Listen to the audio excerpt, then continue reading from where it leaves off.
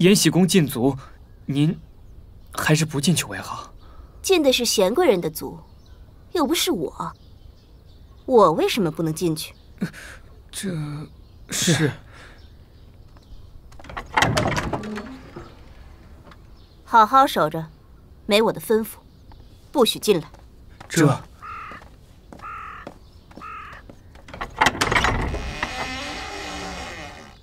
奴婢已经打听过了，这个时候海贵人不在，他接大阿哥下学了。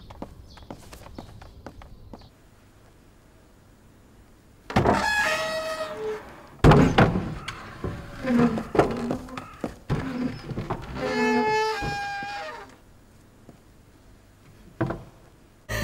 了？什么事？都出去！要你们多管闲事！滚！不成，我们看守延禧宫，绝不许出了事。玫贵人若再如此，奴才就要去禀告皇上了。这是怎么了？你不能进去！哎呀，你放手！进去！你放手！玫贵人，你这是在干什么呀？这可使不得！放开我！玫贵人，放开我！不是我做的，我真的没有做。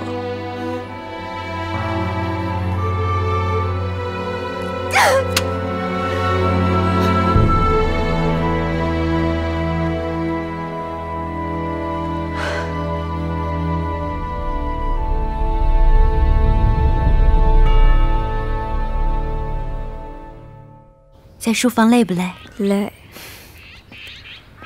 大阿哥，如今照顾咱们延禧宫的人少了，以后出入我都会带着你的。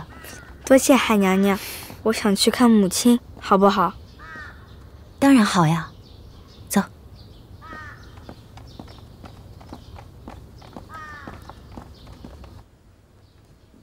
大阿哥饿了没啊？待会儿我让小厨房偷偷给你煮面吃啊。嗯。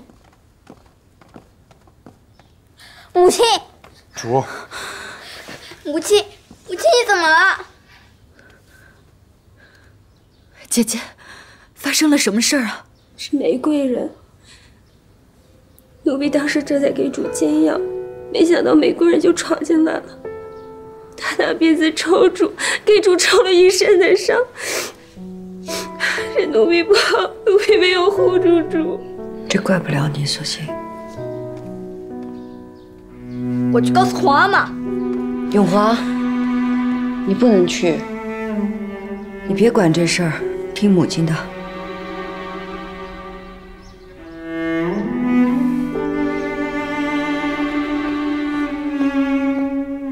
大哥，听你母亲的话，这事你别管，啊。三宝，奴才在。陪大阿哥下去。这。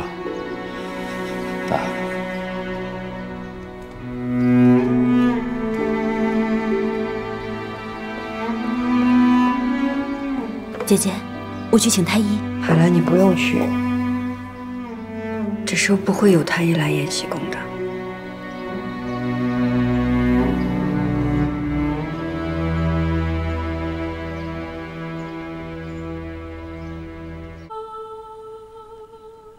糊涂！这件事便是贤贵人做的，皇帝都还没处置，你先动起手来了。玫贵人这次真是鲁莽了。既然是人证物证都俱在，皇帝都不立即处置贤贵人，你倒先冲进去乱打一通，你的心胸见识就这么点儿啊？嗯，丧子之痛积于心中，臣妾才会一时冲动。你这么莽撞，怪不得人家算计你，你都不知道。罢了，你回去好好思过。是。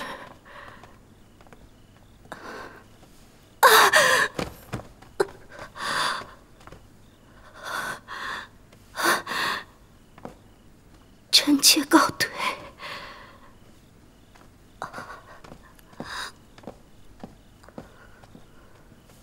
他这是怎么了？太后，奴婢问过太医了，说是玫贵人丧子之后，添了一道下红之症，往后玫贵人再想伺候皇上，怕是没从前那么方便了。唉，身子是一回事，见识更短浅。福家，嗯，你得去亲近哀家的老臣里，选些适龄的官宦女子备着了。是。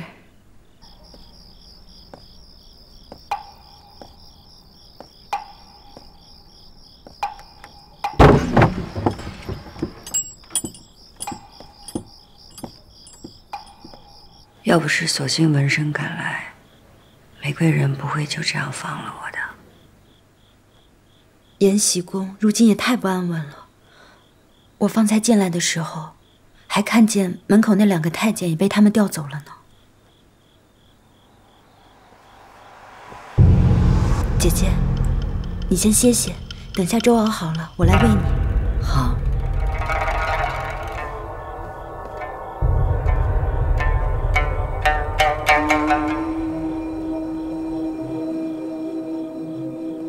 宜贵人，你身体不是还不适吗？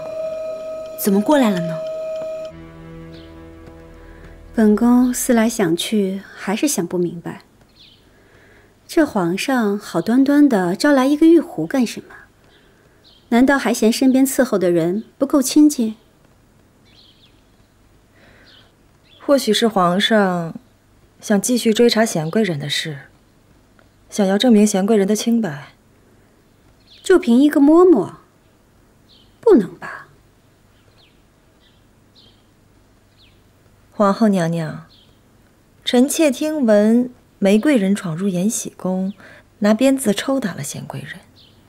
若不是当时守门的太监拦着，说不准贤贵人被打成什么样呢。这也不能怪玫贵人，痛失孩子，是何等痛心啊！皇后娘娘坐在长春宫。无人来告知，便是不知道这回事儿。没有的事儿，娘娘如何处置？倒是那几个守门太监多事，有他们在，倒护着贤贵人了。奴才多事，就应该调走。反正贤贵人幽禁，谅他也出不去。不过，会不会有人去告诉皇上呢？有阿若在呢。谁会去扫皇上的兴？皇上收了阿若，宫中总要添新人的，不是阿若也有旁人。哎呀，没成想啊，还真随了这个阿若的心了。如果他没有这样的心，又恨着贤贵人，他又如何会出来作证？宜贵人的孩子，本来该本宫抚养，陪着永莲一起长大。谁知道，竟这般被贤贵人害没了。娘娘处事公正，保后宫宁和，皇嗣安稳。处置又如何？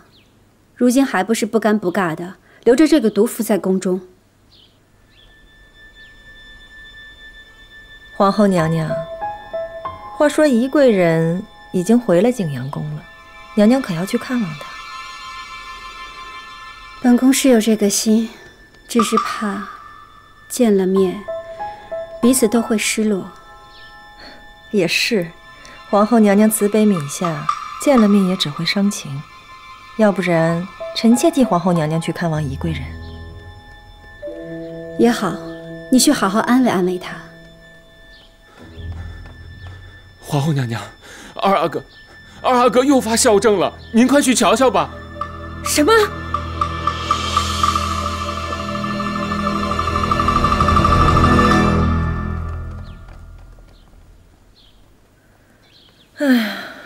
这二阿哥身子也太弱了些，只怕会活不长啊。